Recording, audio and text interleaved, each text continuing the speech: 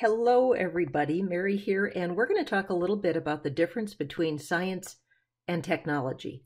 Science and technology, people have a tendency to say them in one sentence science and technology, but they're not the same. And they have very different definitions, and we need both.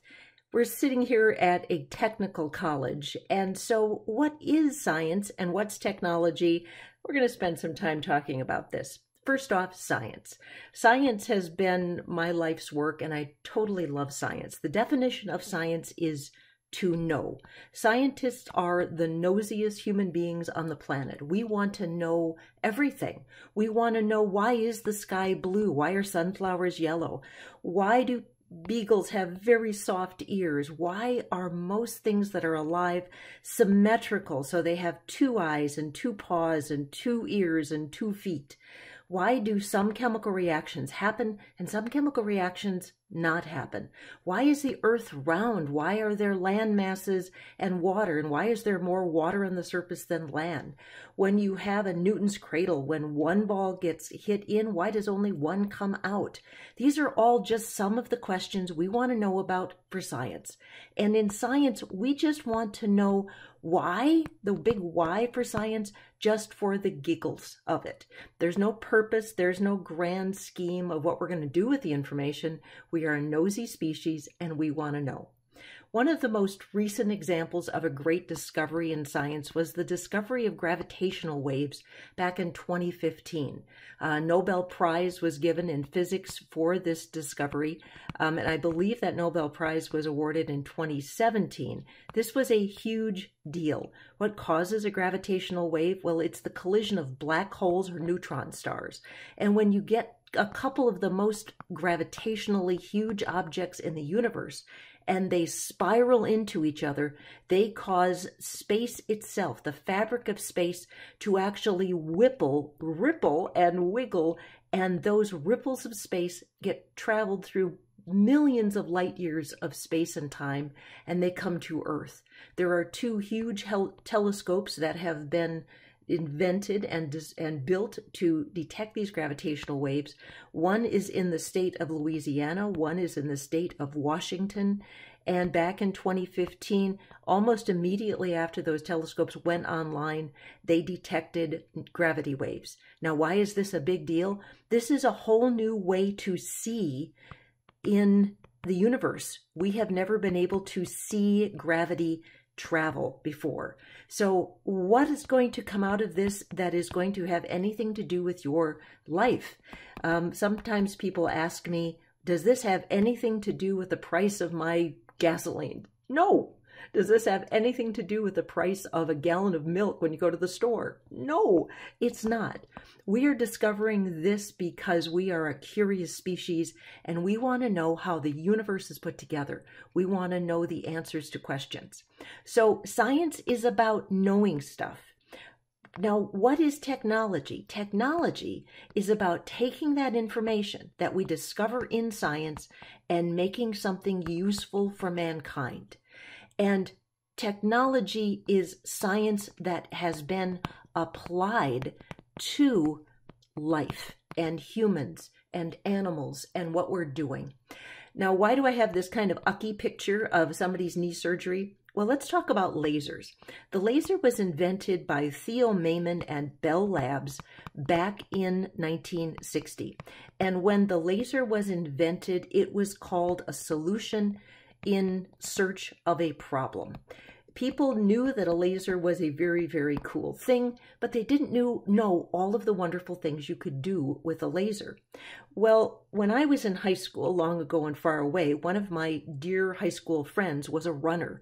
And she, like a lot of runners, blew her knee out. And when she blew her knee out, we're talking in the late 1970s here. Yep, I'm an old lady. In the late 1970s, when she blew her knee out, she had to have this kind of surgery. They cut this huge seam down her entire knee.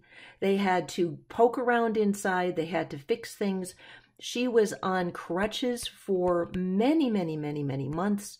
And she then had to be not running for something like six months. She was like six months off of her sport, it was a very long and huge recovery time. Well, that was about 20 years after the invention of the laser. That was the surgery.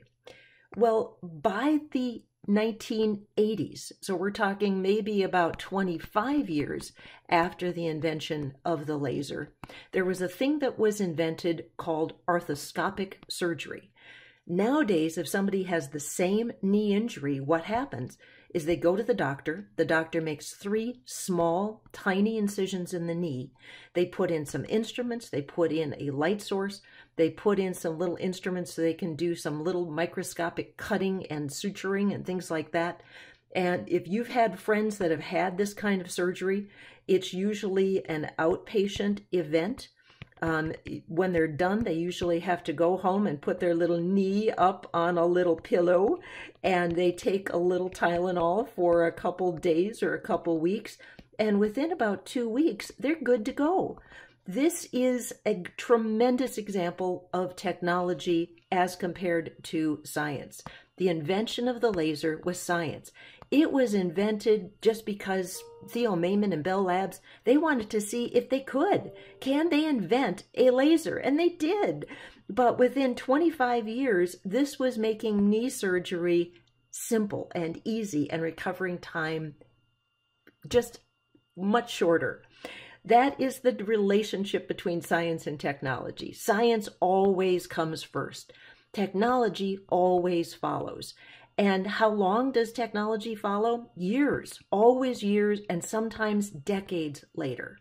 So when a new scientific discovery comes about, sometimes people look at me and say, well, why are we spending our tax money on things like that? Well, because we're going to get cool stuff out of it, but we don't know what it's going to be and we don't know when it's going to be.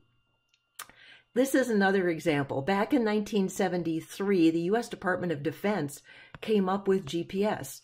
Well, in 1995, so little over 20 years later, the first in-dash GPS went in the in Oldsmobile models, the upper end Oldsmobile models, and it was called GuideStar. And now, I don't know about you, I can't hardly find my grocery store or my way home without my GPS. Um, we are totally addicted to the things. But that is another great example of science versus technology as George Lucas has been known to say, he's been known to say that all art is limited by technology. So, what we can do is limited by the technology we have invented, and we have to have science in order to do that technology. My question to you is what are new technologies that have existed in today's world, in your industry, that weren't there 20 years ago?